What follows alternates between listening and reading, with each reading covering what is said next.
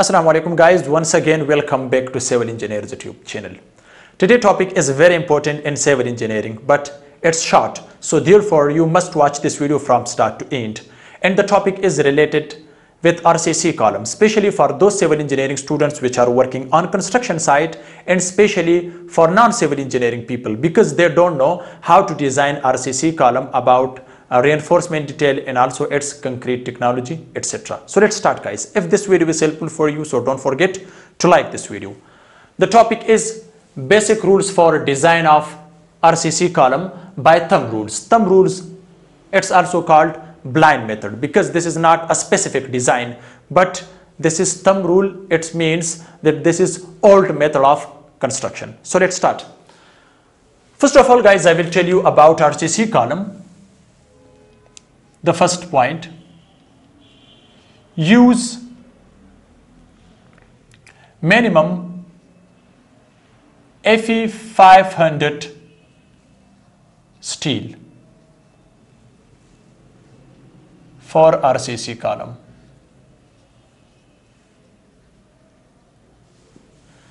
Because guys, Fe, this is the yield stress or yield strength of steel in Newton per mm square. So it means 500 Newton per mm square. This is the tensile strength of steel.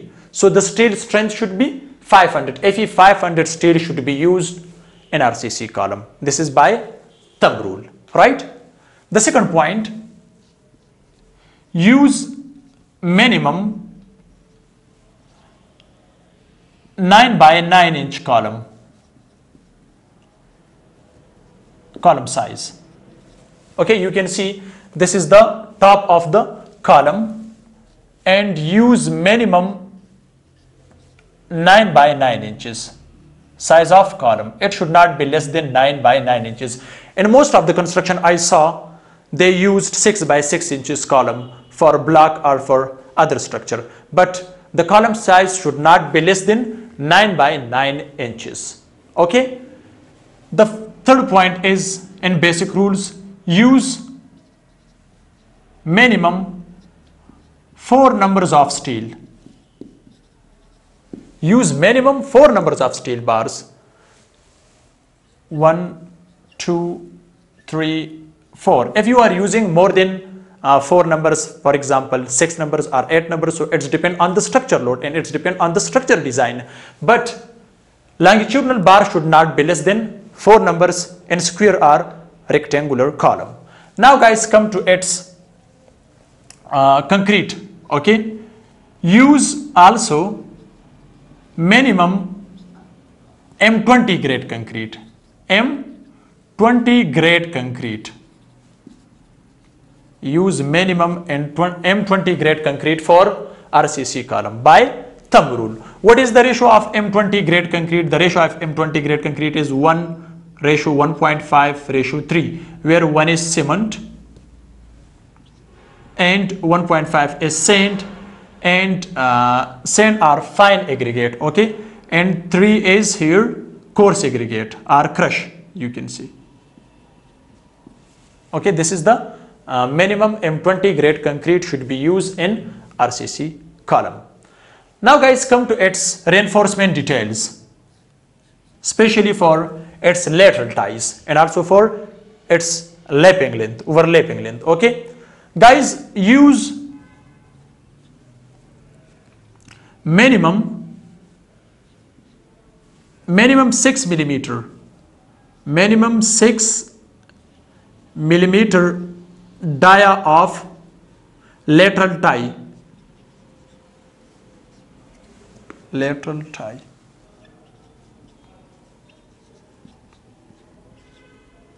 use minimum 6 millimeter dia of lateral tie you can see guys this is the lateral tie and its dia should not be less than 6 mm. Use minimum 6 millimeter dia of steel for lateral ties. And guys come to its hooks. Okay, so hook's length should be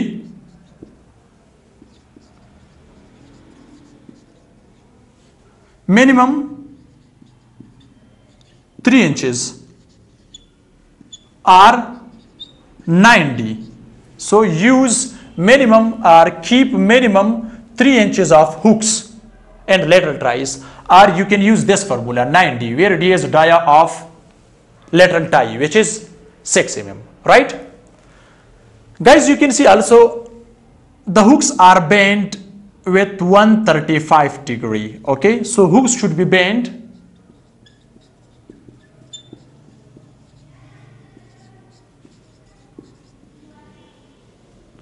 with 135 degree. This is very important that the hooks should be bent with 135 degrees. So if you not bend the hooks are same like this. If it become like this so you will face more problems in its state structure design right?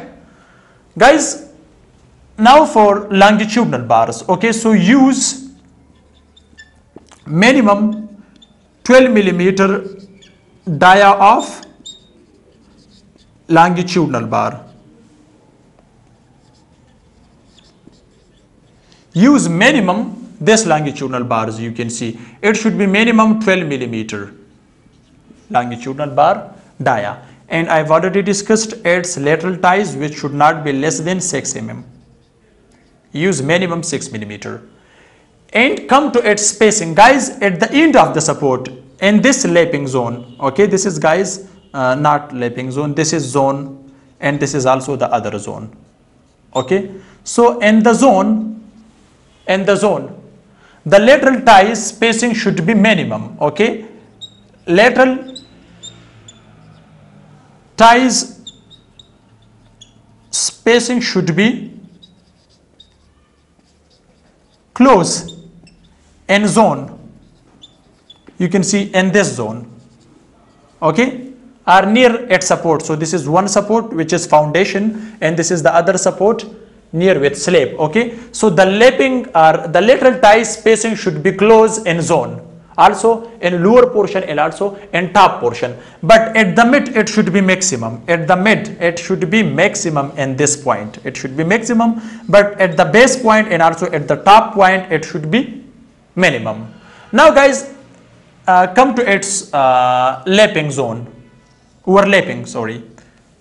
So the lapping of the longitudinal bar should be with 50d where d is dia of steel bar longitudinal bar dia. So the lap should be provided or we can get the lapping length with the formula of 50d then you can overlap one steel bar with other to the length of 50d so guys uh, also here is one other question. When you are lapping so you will bend a bar in the lapping point here same like this. So this slope should be 1 ratio 6 okay?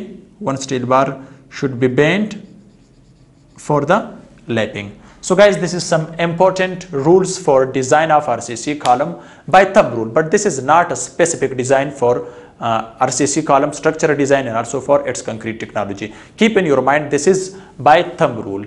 If you have any question related with this topic so you can comments I will try to reply your answer. Thanks for watching see you in next video. Goodbye.